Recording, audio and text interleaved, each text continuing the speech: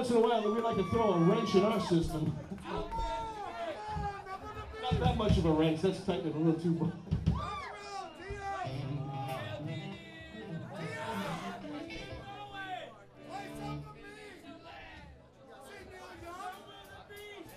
The clairvoyance for you.